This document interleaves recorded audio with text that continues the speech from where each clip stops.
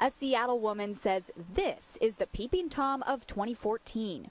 She called police to report a drone spying on her in her apartment. She said when she looked down, she saw its operators pack up camera equipment into a car and take off. People who live here admit they're slightly creeped out. It's a little bit odd. I wonder kind of why it would be flying around and to what purpose. The good person in me wants to believe that it wasn't someone trying to watch me or someone else in the building, uh, but who knows? Legally, it doesn't matter. KIRO 7 asked the Federal Aviation Administration and it reaffirmed rules for unmanned model aircraft.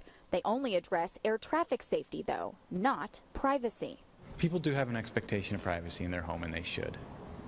But if somebody's outside and they can get a picture of you through your window, that's just living in the city, sorry. Seattle police admit there's not much they can do about drone complaints, with one exception. If you feel threatened by it or if you get hit by it, then feel free to tell a person, hey, look, that's not cool, or you can call the police and we can do the talking for you if you wish.